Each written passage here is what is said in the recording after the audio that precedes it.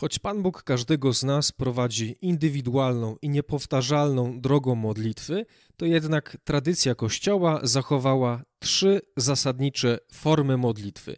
Jeżeli chcesz dowiedzieć się, jakie to są formy i jakie to ma znaczenie dla naszego życia duchowego, serdecznie zapraszam Cię na kolejny odcinek podcastu Słowo Boże na co dzień.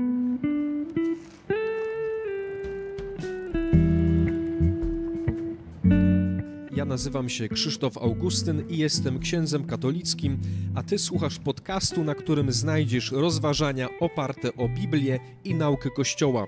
Serdecznie zapraszam. Powracamy do serii pod tytułem Głęboka modlitwa, w której chcemy uczyć się modlitwy, chcemy uczyć się, jak się modlić, to nie znaczy, moi drodzy, że nie będzie kontynuowana seria o Eucharystii, ale jeszcze muszę doczytać kilka dokumentów Kościoła, kilka książek i tamte nagrania też będą kontynuowane. A tymczasem na rekolekcjach zrodziło mi się kilka myśli na kolejne odcinki z tej serii o głębokiej modlitwie. Jak pamiętacie, towarzyszy nam pewna diagnoza, którą pozwoliłem sobie na początku postawić. Ta diagnoza nie jest zbyt optymistyczna, ale warto sobie to nieustannie uświadamiać, że moi drodzy, zasadniczo nie umiemy się modlić. Mamy problem z modlitwą z różnych powodów.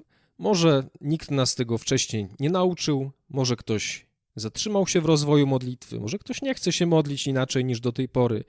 Może też nie mamy wokół nas kapłanów, którzy są rozmodleni, którzy nas by nauczyli modlitwy.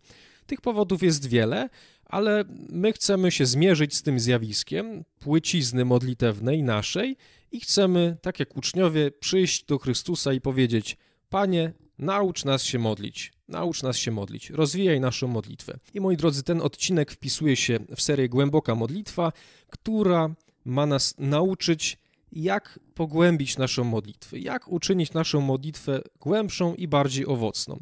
I to, co dzisiaj mam zamiar powiedzieć, może pomóc zarówno osobom, które dopiero co stawiają pierwsze kroki w modlitwie, uczą się jej, ale też z drugiej strony to może pomóc osobom, które już są w jakiś sposób w modlitwie zaawansowane, chociaż pamiętamy, że w życiu duchowym jesteśmy zawsze początkujący, ale to też pomoże nam nieco uporządkować naszą wiedzę o modlitwie. Moi drodzy, to co mam zamiar teraz powiedzieć jest w całości zaczerpnięte z katechizmu Kościoła katolickiego. Y, punkciki od 2697 do 2724. Czwarta część katechizmu mówi o modlitwie i jest rozdział trzeci życie modlitwy i później artykuł pierwszy formy modlitwy. I to wszystko, co powiem, jest zaczerpnięte z tego artykułu formy modlitwy. Moi drodzy, zacznijmy od tego, że w życiu modlitewnym zasadniczo chodzi o to, żebyśmy my cały czas mieli świadomość obecności Boga, że Bóg jest z nami, a my jesteśmy w Bogu. Tak jak w dziejach apostolskich święty Paweł powiedział, że w Nim żyjemy, poruszamy się i jesteśmy. Więc w życiu modlitwy naszym o to chodzi, żeby nieustannie y, tą świadomość pogłębiać, mieć świadomość tego, że jesteśmy w Bogu, że wszystko, co się dzieje w naszym życiu, co robimy, to jest zakorzenione w obecności Boga. I takie dwa aspekty są tutaj ważne. Z jednej strony ten wymiar, który katechizm nazywa pamięcią serca albo oddech Bogiem, że cały czas tak jak oddychamy, ale nawet o tym nie myślimy, ale oddychamy, tak samo chcemy oddychać Bogiem, czyli mieć taką świadomość z tyłu głowy, a nawet może o tym nie myśleć, jakoś się nie zastanawiać, że cały czas jestem z Bogiem, jestem w Bogu. O to chodzi w modlitwie, że modlitwa ma nas w tej świadomości wiedzy o tym, że jesteśmy w Bogu, cały czas umacniać i pogłębiać. Jeżeli mamy coś takiego w sobie, to nie ma problemu, że zapominam o modlitwie, bo ja się cały czas modlę. Cokolwiek bym nie robił, cokolwiek by się nie działo w moim życiu, to ja się modlę w tym sensie, że pamiętam o Bogu, oddycham Bogiem, Jego obecnością. I to jest jeden wymiar, ale też drugi wymiar jest ważny, o którym mówi katechizm, czyli moment spotkania o większej intensywności i czasie trwania i formy modlitwy, o, o, których będziemy sobie mówili, wpisują się w ten wymiar, czyli w naszym życiu modlitewnym. Oprócz tego, że cały czas chcemy o Bogu pamiętać, mieć świadomość Jego obecności, konieczne są pewne momenty spotkania o większej intensywności i czasie trwania. I seria ta polega na tym, że myśmy się tutaj przez te siedem odcinków do tej pory uczyli pewnej metody modlitwy, metody rozmyślania, ale jak zobaczymy, to jest jedna z form, o których mówi Kościół, a te formy są trzy: modlitwa ustna, rozmyślanie i kontemplacja. Takie trzy formy modlitwy podaje nam katechizm: modlitwa ustna, rozmyślanie i kontemplacja. Skoro jest takie rozróżnienie, to się domyślamy, że każda z tych form czymś się od siebie różni i właściwie zasadnicza część nagrania będzie polegała na tym, że będziemy sobie tłumaczyli te różnice, na czym one polegają. To wszystkie te trzy formy mają pewien wspólny mianownik. Otóż wszystkie te trzy formy łączy, jak mówi katechizm, skupienie serca skupienie serca. Czyli w modlitwie chodzi o to, żeby skupić swoje serce na Bogu. Modlitwa jako spotkanie z Bogiem, czyli chcemy mieć świadomość, że, że następuje spotkanie, skupić swoje serce na Bogu. I każda z tych form, ustna, rozmyślanie i kontemplacja, do jej istoty, poza tym, że jeszcze kilka innych rzeczy należy skupienie serca. Więc moi drodzy, teraz przejdźmy do pierwszej formy modlitwy modlitwa ustna. Opiera się ona na tym, że właściwie fundamentem naszej wiary jest to, że Bóg do nas mówi, że Bóg się nam objawia, czyli wychodzi nam na spotkanie i coś do nas mówi. Mówi do nas przez swoje słowo, przez liturgię, przez różne wydarzenia, przez fakty, przez różne osoby, które spotykamy, ale takim fundamentem naszej wiary jest to, że Pan Bóg do nas mówi i my możemy się z Nim skomunikować, możemy wejść w dialog, możemy z Nim rozmawiać.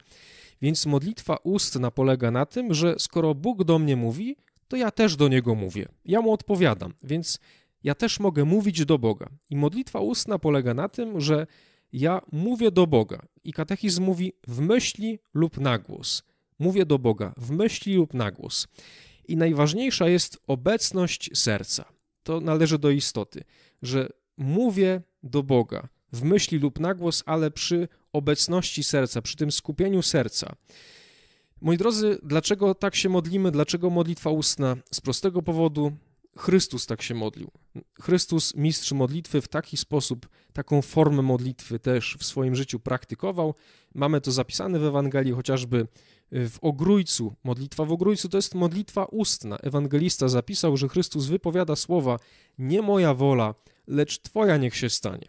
Co więcej, Chrystus uczył takiej modlitwy, bo kiedy uczniowie podeszli do Chrystusa, powiedzieli mu: Panie, naucz nas się modlić, to Chrystus nie powiedział: No to chłopaki, siadajcie, nauczę was lekcjo divina, czy jakiejś tam kontemplacji ewangelicznej, tylko mówi: Kiedy się modlicie, mówcie. Ojcze nasz, któryś jest w niebie i tak dalej. Więc Chrystus nauczył swoich uczniów modlitwy ustnej.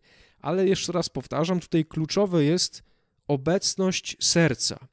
I największym niebezpieczeństwem tej formy modlitwy jest coś, co byśmy nazwali takim klepaniem, czyli takim bezmyślnym wypowiadaniem, bez żadnej świadomości, bez skupienia swojego serca na Bogu. Więc największe niebezpieczeństwo tej formy modlitwy, i pewnie nieraz tego doświadczamy, i przykra sprawa jest taka, że bardzo wielu ludzi się niestety na tym etapie zamyka, czyli na etapie jakiegoś klepania Niektórzy mówią, pewien jezuita kiedyś mówił, że mówimy wierszyki Panu Bogu, których On w ogóle nie potrzebuje od nas słyszeć, że coś tam recytujemy. Nawet najpobożniejsze, nawet modlitwę, której nas nauczył Jezus Chrystus, ale tylko recytujemy, wierszyki. Albo o zgrozo te paciorki słynne. Ktoś mówi, że nie odmawiał pacierza albo zapomniał o paciorku. I moi drodzy, o ile w przypadku dzieci, małych dzieci, to jest jak najbardziej naturalne, adekwatne, że dzieci mówią wierszyki do Pana Boga, mówią te paciorki, pacierze z prostego powodu, że dziecko ono jeszcze nie ma na tyle rozwiniętego umysłu, świadomości, rozumowania, żeby pojąć w ogóle, kim jest Bóg. Dziecko małe nie jest w stanie tego zrozumieć, pojąć, i to jest jasne, że dziecko małego uczymy modlitwy ustnej, pacierzy i takich mówienia wierszyków po prostu, bo ono jeszcze tego nie rozumie. Przyjdzie czas, kiedy y, znajdą się ludzie, oby rodzice, katecheci, bliscy wprowadzą w rozumienie modlitwy, modlitwy obecności serca, modlitwy ustnej, ale jest pewien etap w rozwoju dziecka, kiedy ono będzie te modlitwy klepało, tak. Ale problem jest wtedy, kiedy ludzie dorośli, a to jest zjawisko, tak mi się wydaje, stawiam taką diagnozę powszechne i nagminne, że ludzie dorośli, wierzący katolicy zatrzymali się na etapie dziecka, czyli klepania tych wierszyków czy paciorków, jak to nazwiemy. Czyli to jest takie bezmyślne wypowiadanie słów jakiejkolwiek, nawet najpiękniejszej modlitwy, ale całkowicie bez świadomości tego, o czym mówię, co wypowiadam, bez intencji i bez tego elementu obecności serca. Czyli to jest największe niebezpieczeństwo tego, tej formy modlitwy, że możemy pozostać tylko na jakimś klepaniu automatycznym, bezmyślnym, recytowania wierszyków pobożnych Bogu. Dlaczego, moi drodzy, to jest niebezpieczeństwo i dlaczego tego chcemy się wystrzegać? Z prostego powodu, bo Chrystus w Ewangelii według świętego Jana powiedział nam, że On chce czcicieli w duchu i prawdzie. Czcicieli w duchu i prawdzie. A więc Chrystusowi chodzi i nam chodzi o modlitwę żywą, prawdziwą, z głębi duszy, autentyczną. I oczywiście to może być modlitwa ustna. I tutaj czasami popełniamy taki błąd, kiedy uważamy, że, że to jest taka modlitwa płytka, czy modlitwa nieadekwatna. Nie, to jest jak najbardziej piękna, głęboka forma modlitwy. Problem jest w tym, i to nawet nie jest problem w, formie tej pacierzowej, że jest jakaś formuła modlitwy gotowa, z której my korzystamy.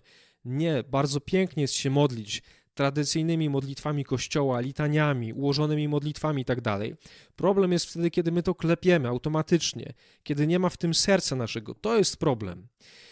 I moi drodzy, katechizm mówi, że ta forma modlitwa ustna, że to jest pewien początek nasze, naszego życia modlitwy, bo mówi katechizm tak, że to jest pierwszy stopień do kontemplacji pierwszy stopień do kontemplacji, czyli y, to sugeruje, że od tego zaczynamy. I oczywiście na początku i Chrystus uczył, uczy swoich uczniów modlitwy ustnej, i my nasze dzieci uczymy modlitwy ustnej, i my cały czas chcemy się uczyć modlitwy ustnej, bo to jest początek, od tego zaczynamy.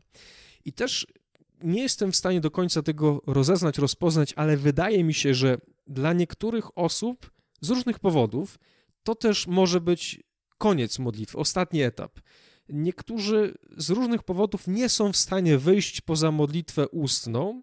I być może tak jest. Tak mi się wydaje, że, że być może tak jest i nie należy się tym jakoś zniechęcać, ale chodzi o to, żeby ta modlitwa była modlitwą serca, żywą, szczerą, płynącą z głębi duszy, jak mówi katechizm, w duchu i prawdzie. I teraz, moi drodzy, owocem takiej modlitwy myślę, że jest nawiązanie relacji z Bogiem. O to chodzi w modlitwie ustnej, że ja mówię do Boga, rozmawiam z Nim, mówię do Niego słowa, w myśli lub na głos. I w taki sposób, tak jak w naszych ludzkich relacjach, poprzez rozmowę, mówienie, po prostu nawiązuje się relacja. I tak samo w modlitwie, w relacji z Bogiem, po prostu więź się nawiązuje, kiedy mówimy do Boga. I takim, myślę, że głównym owocem modlitwy ustnej jest to, że po prostu ta więź się nawiązuje, że zaczynamy odkrywać Boga jako osobę, bo może być tak, że niektórzy w ogóle nawet nie wiedzą, że do Boga można mówić jak do normalnej osoby, że można z nim rozmawiać. Może nikt ich tego nawet nie nauczył, nie pokazał im, że z Bogiem można po prostu mówić, rozmawiać do Niego. Modlitwa ustna na tym polega. I przykład, moi drodzy, bo najłatwiej coś zrozumieć na przykładzie, to choćby, nie wiem, poranna modlitwa. Ja mam taki zwyczaj, że kiedy się, kiedy się przebudzę od razu, jestem jeszcze w łóżku, to pierwsze myśli do Boga. Myślę sobie, Panie Boże, dziękuję Ci za ten dzień, że wstałem. Trochę mi się nie chce wstać z łóżka, ale oddaję Tobie ten dzień, powierzam. To jest, moi drodzy, modlitwa, bo też niektórzy mogą myśleć, że na modlitwę to już trzeba być przebranym z piżamy, umytym, eleganckim. No nie, modlitwa ustna już może być no, w tym wyrze, jak jeszcze żeśmy nie wstali, czy wieczorem, w każdym momencie, idąc na spacerze w autobusie, gdziekolwiek możemy w myśli lub na głos. No może w autobusie lepiej na głos nie, bo ktoś jeszcze pomyśli, że coś jest nie tak z nami, ale w myśli zawsze możemy modlić się ustnie i o to chodzi, że ta forma modlitwy ona nas wprowadza, ona w nas też rozpala pragnienie głębszej modlitwy. Bardzo ważna, moi drodzy, forma modlitwy. Nie lekceważmy jej, nie myślmy, że to jest tylko dla dzieci. Nie, to jest forma dla każdego, dla dorosłych, ale adekwatna do naszego wieku jest wtedy, kiedy my w nią wkładamy serce, kiedy jest obecność naszego serca. Wtedy ta modlitwa będzie piękna i owocna. Druga, moi drodzy, forma modlitwy to rozmyślanie. Co to takiego jest? Do istoty rozmyślania należy, moi drodzy, praca naszego rozumu i woli. To jest bardzo ważne w rozmyślaniu, że podczas rozmyślania my musimy skupić się, naszą uwagę, nasz rozum i wolę. Na czym? na pewnej treści, bo znowu w rozmyślaniu zawsze konieczna jest jakaś treść rozmyślania. My rozmyślamy nad czymś, coś, nie bujamy jakoś w obłokach, nie wiadomo nad czym, więc co jest treścią rozmyślania? Katechizm podaje wiele różnych opcji, ale podstawową treścią rozmyślania jest Słowo Boże, Pismo Święte. Rozmyślamy Pismo Święte. Kościół proponuje nam praktykę codziennego rozmyślania nad Słowem Bożym z dnia. Ale można też rozmyślać nad jakimś obrazem, nad ikoną, nad tekstami liturgicznymi, nad tekstem katechizmu Kościoła katolickiego. Możemy też rozmyślać nad jakimiś tekstami y, z życia duchowego, jakichś pism y, mistrzów duchowych, nie wiem, dzienniczek siostry Faustyny o, o naśladowaniu Chrystusa, jakieś dzieła klasyki duchowości chrześcijańskiej. Albo też katechizm mówi ciekawe, że możemy rozmyślać, treścią rozmyślania może być wielka księga stworzenia. I ja to tak rozumiem, że choćby ja w górach, kiedy jestem na szczycie sam, to rozmyślam nad tym majestatem pięknym stworzenia. I też katechizm mówi, że możemy rozmyślać nad kartą Bożego dzisiaj. Ciekawe bardzo sformułowanie. Myślę, że tu chodzi o to, że możemy rozmyślać nad naszym dniem. Nasz dzień, nasze dziś może być też treścią rozmyślania.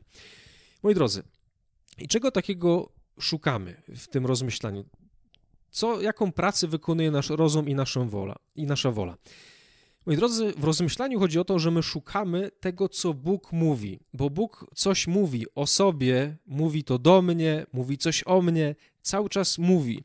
I jest to zawarte i w Księdze Słowa Bożego, i w ikonie, w tekstach liturgicznych, w kateizmie, w tych wszystkich źródłach, które sobie podaliśmy. Pan Bóg coś mówi. Tam jest Jego głos, można go usłyszeć. I my w rozmyślaniu, w tej formie modlitwy, poszukujemy tego, co Pan Bóg mówi. Chcemy odnaleźć Jego głos, tego, to, co On do nas mówi. I bardzo ważne jest to, że takim błędem, który można popełnić, jest takie rozmyślanie, bym powiedział, ogólne, wręcz takie filozofowanie o, o życiu, nie wiem, jakichś wielkich sprawach. A chodzi o to, że rozmyślanie ma nas prowadzić do naszego serca, do naszego życia. Katechizm mówi, że rozmyślanie ma prowadzić do odniesienia do siebie, od myślenia do rzeczywistości. Czyli ta forma modlitwy ma nas sprowadzać do naszej rzeczywistości życia, do mojego życia, do moich relacji, do tego wszystkiego, co stanowi moje życie. Więc rozmyślanie nie ma nas odrywać y, i odsyłać do jakichś wielkich spraw, nie wiem, rozważania nie wiadomo czego, tylko ma nas sprowadzać na ziemię, na podłogę, do rzeczywistości naszego życia. Tu jest też istota rozmyślania, że Pan Bóg mówi coś do mnie w Słowie Bożym, w katechizmie, w tekstach liturgicznych. Tam jest coś, jakaś wiadomość do mnie osobiście. I to jest ważne, że zawsze, kiedy rozmyślamy, cokolwiek byłoby treścią rozmyślania, to Pan Bóg nie mówi tego do kogoś, do sąsiada, do męża albo do kogoś, kogo nie lubię, tylko do mnie. Zawsze to słowo jest skierowane do mnie osobiście. To jest bardzo ważne. Katechizm też zwraca uwagę, że w przypadku rozmyślania bardzo ważna jest regularność. Regularność. Ja osobiście praktykuję codziennie. Codziennie rano wstaję i pół godziny rozważam Y, rozmyślam nad Słowem Bożym. I tu też myślę, że to jest jasne, że ta forma modlitwy, ona wymaga czasu. To jest trudna forma modlitwy, ona wymaga czasu i zaangażowania, tych wszystkich elementów, o których była mowa w tej serii. Ja uważam, że takie absolutne minimum, poniżej tego czasu już nie da się schodzić, to jest 15 minut poniżej tego czasu nie da się zejść, bo po prostu nie wejdziemy w skupienie. Zanim się skupimy, to już ten czas minie. Y, ja uważam, że takim optymalnym rozwiązaniem jest 30 minut dziennie rozmyślania. I moi drodzy, są różne metody rozmyślania, i tak naprawdę te metody są wtórne, w sensie one nie są istotą tego, bo są różne metody. My się tutaj uczyliśmy na kanale Lekcja Divina, jest też medytacja ignacjańska, jakieś medytacje biblijne, metody świętej Teresy i po prostu jest tych metod mnóstwo, ale one się nie różnią od siebie jakoś bardzo mocno. One tam mają różne akcenty poprzestawiane. Ojciec Bronisław Mokrzycki, jezuita, mówi, że metoda to jest sprawa drugorzędna, bo drogą modlitwy jest człowiek. Więc jasne, że na początku, szczególnie modlitwy, kiedy uczymy się rozmyślać, to ważne jest trzymać się metody jednej, tych punktów po kolei, żeby nabrać wprawy, żeby wejść. To podobnie jak się uczymy grać na instrumentach, nie wiem, na gitarze, na, na klawiszach, to najpierw musimy poznać akordy, jak to się gra, a później sobie coś tam improwizujemy. I w, rozmyśl w rozmyślaniu jest tak samo. Najpierw uczymy się metody, jak ona działa, jak ją zastosować, a później już sobie z tej trochę weźmiemy, trochę z tej i później my już wiemy, jak rozmyślać. I teraz, y, moi drodzy, jakie są owoce? Bo owocem modlitwy ustnej powiedziałem, że jest takie nawiązanie więzi z Bogiem, odkrycie więzi z Nim. To owoce wskazuje katechizm na dwa owoce rozmyślania. Katechizm mówi tak, że to jest pogłębianie wiary i pobudzenie nawrócenia. Pogłębianie wiary i pobudzenie nawrócenia. Pogłębianie wiary, moi drodzy, polega na tym, że my mamy w sobie różne przekonania o Bogu, o wierze, o Kościele z różnych źródeł, z różnych jakichś tam względów one są w nas i one są bardzo często nie do końca albo i w całości fałszywe. I na rozmyślaniu my poznajemy Boga, bo Bóg mówi, Bóg się objawia, mówi o sobie, jaki jest w objawieniu, w Piśmie Świętym, w tradycji Kościoła, więc my poznajemy Boga takiego, jakim On jest naprawdę, nie takim, jakim nam się wydaje. Więc ja to mówię, że to jest takie poznawanie Boga z pierwszej ręki.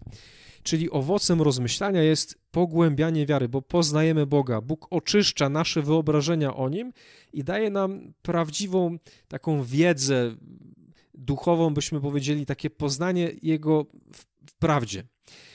I pobudza też do nawrócenia, bo bardzo ważnym elementem, owocem rozmyślania jest to, że kiedy rozmyślamy, rozmyślanie poszerza nam wgląd w siebie. Poznajemy prawdę o sobie. Dzisiaj akurat w Ewangelii był ten fragment, kiedy Jezus mówi o, o tej słynnej belce, którą mamy wokół. I jest tak, moi drodzy, że każdy z nas ma takie belki w, w oczach, ale problem jest w tym, że my ich nie potrafimy dostrzec. I problemem nie jest to, że my te belki mamy, bo wszyscy je mamy, ale problem największy jest w tym, i właściwie to większy problem mają nasi bliscy, którzy wokół nas żyją, że my tych belek nie widzimy. Ale jak mamy je widzieć, skoro je mamy w, gdzieś tam wokół, tak, w tym, w sercu. Więc Słowo Boże ono nam będzie pokazywało, bo Chrystus będzie oświetlał nasze wnętrze, serce, duszę, będzie oświetlał światłem swojego Słowa i w taki sposób my zaczniemy te belki dostrzegać i przy Jego współpracy je jakoś z naszego serca usuwać. Więc to jest ten owoc rozmyślania, pobudzenie do nawrócenia, czyli to, że my zaczynamy dostrzegać nasze serce w prawdzie, poszerza się wgląd. I przykładem takiej formy modlitwy jest choćby ta metoda Lectio Divina, której się tutaj wspólnie uczymy praktykować na kanale. Ja to tłumaczyłem w tym odcinku, jak modlić się Słowem Bożym. I właściwie w tej modlitwie Lectio Divina są zawarte wszystkie trzy formy w jakimś tam fragmencie, ale co do zasady, zasadnicza część Lectio Divina to jest rozmyślanie, rozmyślanie nad Słowem Bożym. Ale przy końcu Lectio Divina też próbujemy wchodzić w kontemplację. I teraz płynnie sobie przejdźmy do tej trzeciej, ostatniej formy modlitwy, którą nam podaje katechizm, kontemplacja. Moi drodzy, czym takim jest kontemplacja? Ja bym powiedział, że do istoty tej formy modlitwy należy bycie z Bogiem. Zwróć uwagę, że do tej pory, jak te dwie formy, modlitwa ustna i rozmyślanie, w nich y, ważna była taka nasza osobista aktywność, nasza praca, to, co mówimy w tej modlitwie ustnej, w rozmyślaniu praca naszego rozumu i woli, tak w kontemplacji my już jesteśmy tacy bardziej bierni. Więc w kontemplacji chodzi o bycie z Bogiem, patrzenie się na Niego, spoglądanie, albo jeszcze bardziej pozwalanie, żeby to Pan Bóg patrzył się na mnie. Takie poddanie się Bogu, poddanie się Jego Słowu. Więc to jest taka bardziej bierna forma, bym powiedział, modlitwy. I to jest, moi drodzy, też istotne, że kontemplacja to jest z jednej strony dar. To jest dar, to jest taka łaska wejścia w taką formę modlitwy, że po prostu jesteśmy z Panem, pozwalamy, żeby On się na nas patrzył. Y, z jednej strony to jest dar, a z drugiej strony my w jakiś sposób idąc pokonując takie szczeble modlitwy, byśmy powiedzieli, wzrastając w modlitwie, też idziemy do kontemplacji, bo o tym będzie kolejny odcinek z tej serii. Powiem o rozwoju modlitwy i tylko zaznaczę krótko, że generalnie jest taka zasada, że modlitwa się upraszcza, czyli im bardziej wchodzimy w modlitwę, tym mniej jest już i mówienia, i rozmyślania, im mniej, tym mniej jest treści, a więcej jest po prostu bycia, trwania przed Panem, kontemplacji. I kontemplacja, moi drodzy, to jest dar, który jest dostępny dla każdego. Każdy go może otrzymać. Ja w tym momencie sobie myślę o ludziach młodych, których widziałem, i jestem przekonany, że oni mieli dar kontemplacji. I mam na myśli obraz ludzi młodych, czy nawet dzieci, to też jest możliwe. Y, pamiętam młodych ludzi, którzy na adoracji Najświętszego Sakramentu byli klęczeli, zapatrzeni w Jezusa Eucharystycznego, wchodzili w kontemplację, całkowicie skupieni na Nim, zapatrzeni, trwają w Jego obecności. Bóg ich przenika swoim wzrokiem, swoją obecnością. Kontemplacja. Młodzi ludzie y, taki dar otrzymali. Dziecko też może otrzymać. Dziecko, które przygotowuje się do Komunii Świętej, y, ma świadomość, że tu jest Jezus, po prostu trwa w nim, patrzy się na Niego. Wiemy, że Jan Paweł II miał taki dar kontemplacji, że on potrafił się zanurzyć w modlitwę w różnych momentach, w różnych jakichś okolicznościach. Też katechizm mówi, że kontemplacja jest y, zawsze możliwa, zawsze można w nią wejść. Kiedy mamy taki dar, to możemy, bo nie zawsze możemy rozmyśleć. Żeby rozmyślać, potrzebny jest czas, zaangażowanie, cisza i tak dalej, a kontemplować możemy, nie wiem, nawet w autobusie, jeżeli potrafimy i Pan daje taką łaskę wejść po prostu w Jego obecność, bycie przed Nim, to kontemplacja jest dla nas dostępna wszędzie. I moi drodzy, y, kontemplacja to jest właściwie taki końcowy etap rozwoju modlitwy. Tak jak modlitwę zaczynamy od tej formy modlitwy ustnej, że mówimy do Boga, tak docelowym Y, takim punktem to jest kontemplacja, czyli trwanie przed Bogiem, bo tym też właściwie będzie niebo, czyli takim wiecznym trwaniem w obecności Boga. I moi drodzy, kontemplacja też ma swoje owoce. Jakie byśmy tutaj wymienili owoce tej formy modlitwy? Y, też dwa. Ja bym powiedział, że to będzie poznanie wewnętrzne i oczyszczenie bierne. Poznanie wewnętrzne. Tak jak w rozmyślaniu, moi drodzy, to pogłębianie wiary, poznawanie Boga polegało bardziej na pracy naszego umysłu, rozumu, że my się wgryzamy w tekst Słowa Bożego, w tekst katechizmu, rozmyślamy, rozważamy, co tu Pan Bóg mówi do mnie, co ma mi do powiedzenia i tak dalej. Tak w kontemplacji tu chodzi o to, że to bardziej Bóg mnie wprowadza w tajemnicę swojego serca. Czyli, że to już nie moja praca, nie mój wysiłek, tylko to jest takie poznanie wewnętrzne, dzięki łasce, dzięki temu, że Pan Bóg mnie dopuszcza do tajemnic swojego serca. Czyli to jest taka łaska bycia wprowadzonym przez Boga do swojego wnętrza, poznanie wewnętrzne i oczyszczenie bierne. Oczyszczenie bierne to jest taki termin w teologii duchowości, który polega na tym, że Pan Bóg sam oczyszcza głębiny naszego serca. Bo kiedy rozpoczynamy głębsze życie duchowe, dostrzegamy w sobie różne pragnienia, motywacje, intencje, które nie są do końca, do końca czyste, przejrzyste, nie są do końca uporządkowane. I też możemy dostrzec, że to jest bardzo trudne. My byśmy chcieli to zmienić, chcielibyśmy to jakoś, żeby, żeby to było podporządkowane Bogu, ale nie idzie, bo tego się nie da zmienić własnym wysiłkiem to może się dokonać tylko dzięki łasce Boga. I kontemplacja, owocem kontemplacji jest oczyszczenie bierne, że to już się nie dokonuje przy naszym wysiłku, tylko my po prostu jesteśmy przed Panem, trwamy przed Nim. Y, pozwalamy się Jemu przenikać swoim wzrokiem, swoją obecnością. I Bóg sam oczyszcza. Bóg sam oczyszcza głębiny mojego serca, czyli te wszystkie pragnienia, intencje, motywacje.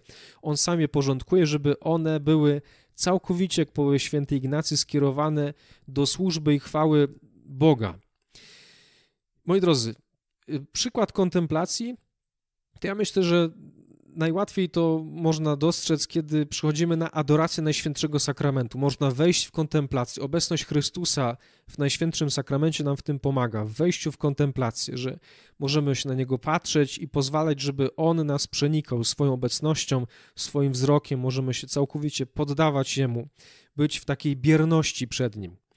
I też pewnie o tym słyszeliśmy, zresztą ja o tym mówiłem chyba w początkowych odcinkach, kiedy święty Jan Maria Wianej kiedyś wszedł do kościoła i spotkał tam jakiegoś wieśniaka, który sobie siedział i święty proboszcz z Ars pyta się go, co ty tutaj robisz? I ten wieśniak odpowiedział, ja patrzę na niego i on patrzy na mnie. I to jest, myślę, że taka zwięzła i klarowna definicja kontemplacji. I zobaczcie, że też taki jakiś prosty wieśniak, który ani nie studiował teologii, nie czytał katechizmu, nie słuchał wielkich konferencji, on pojął istotę kontemplacji. Po prostu ja patrzę na niego, a on patrzy na mnie. I tym jest kontemplacja. Moi drodzy, podsumujmy sobie. Dziś była mowa o trzech formach modlitwy. To jest ważne, że każda z tych form jest, jest istotna, jest ważna, jest potrzebna, jest y, na inny moment i każda spełnia swoją rolę.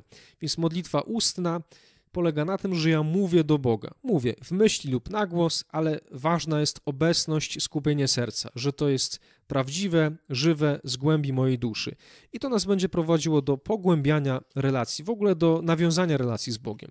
Dalej forma rozmyślanie to jest praca naszego rozumu i woli w skupieniu w uwadze nad jakąś treścią Pisma Świętego, tekstów liturgicznych itd. To będzie pogłębiało naszą wiarę i pobudzało do, nas do nawrócenia. I trzecia forma modlitwy, taka byśmy powiedzieli docelowa, prosta kontemplacja. Jej istotą jest bycie z Bogiem, słuchanie Go, y, takie patrzenie się na Niego, ale też pozwalanie, żeby On się patrzył na mnie swoim wzrokiem i owocem tego będzie poznanie wewnętrzne Boga takim, jakim jest i oczyszczanie głębi moich pragnień, intencji, motywacji. Bardzo Wam, moi drodzy, dziękuję za uwagę, za cierpliwość. Będą jeszcze, mam w planach dwa odcinki serii y, Głęboka Modlitwa. Jeden będzie o rozwoju modlitwy, drugi będzie o modlitwie ukrzyżowanej. Jeszcze doczytuję też mm, encykliki papieskie i książki o Eucharystii i będą się pojawiały też kolejne odcinki serii Źródło i Szczyt. Bardzo serdecznie Was wszystkich, moi drodzy, pozdrawiam. Bardzo i z całego serca dziękuję za modlitwę. I ja każdego dnia, kiedy sprawuję Eucharystię, pamiętam o wszystkich słuchaczach, modlę się w Waszych intencjach, więc czujcie się też przeze mnie omodleni. I też jak odmawiam różaniec, zawsze włączam Was, moi drodzy słuchacze, Wasze intencje w moją modlitwę. Bądźcie pozdrowieni i przyjmijcie Boże błogosławieństwo.